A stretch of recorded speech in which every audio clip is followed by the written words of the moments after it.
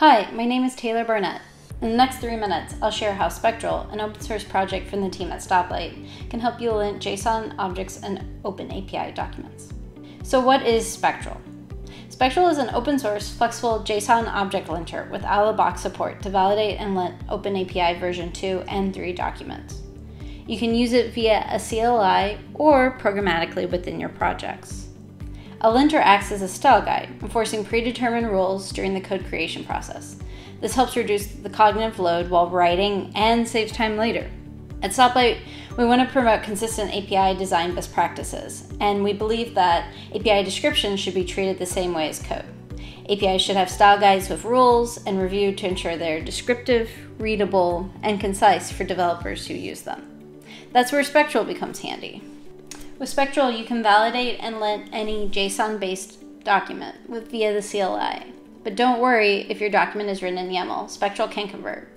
In this case, we want to validate and lint an OpenAPI document. It will display all the warnings and errors. For this document, the path parameter Corgi wasn't used, so it's giving us a couple errors.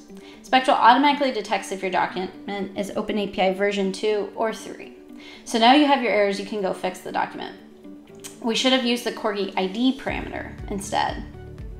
Now that it's fixed, we can run the lint command again to ensure that we have correctly validated and linted the document. Now you can see we have no errors and warnings. Spectral has built-in functions to help you build custom rules too.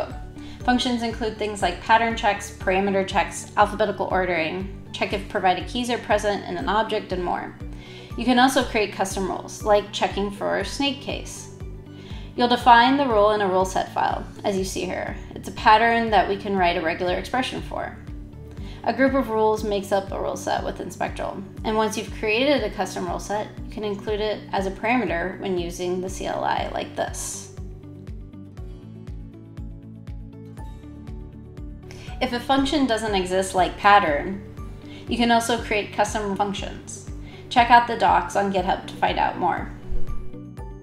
You can install the Spectral CLI today. Check out github.com backslash stoplight.io backslash spectral for instructions, or you can use it instantly within the Stoplight platform at stoplight.io. And if you want to contribute to helping build out Spectral with improved errors and warnings, more documentation, new features for the CLI, and more, check out the contributions document in the repository. We're excited to see what you build. Thanks for watching.